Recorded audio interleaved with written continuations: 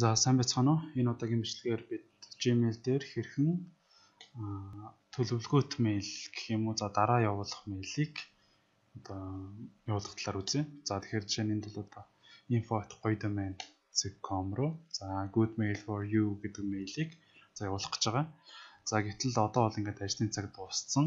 За энэ одоо мэйлийг одоо тэр хүн ингээд ажлын цагт нь ажлын ажлынхаа байран дээр байхад нь хүлээж аваасаа гэж би одоо хүсэж байгаа гэж үзвэл за энийг би одоо бол илгээж болохгүй. За тэгэхээр энийг ингээд хэрвээ x-лээд орхих юм бол энэ одоо миний draft буюу дуусаагүй мэйлзэгт орж ирнэ. За энийгээ дээр магадгүй би явуулахаа мартаад юм уу яг тэр тавьсан хугацаанаас хойшлуулах магадлалтай.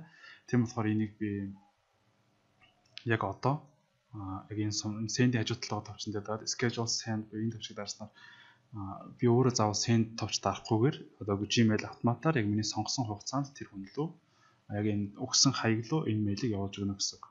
За тэгэхээр одоо хэдүүлээ эндээс хизээ явуулахаа сонгоё. За жишээ нь энийг 7 сарын за маргаашийн одоо 9 цаг 9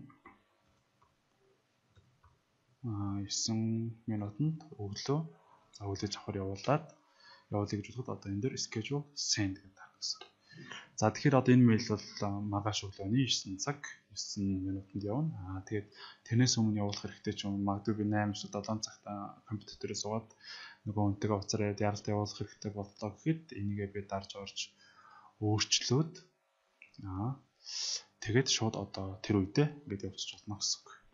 За энэ удаагийн бичлэгийг үзсэн танд баярлалаа. Хэрвээ өөртөө хэрэгтэй илүү олон бичлэгүүдийг үзэх хүсвэл лайк болон subscribe дараарай. За баярлалаа.